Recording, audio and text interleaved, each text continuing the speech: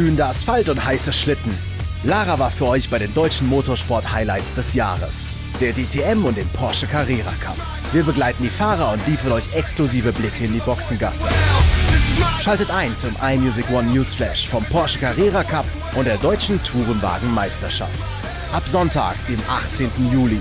Nur auf iMusic One.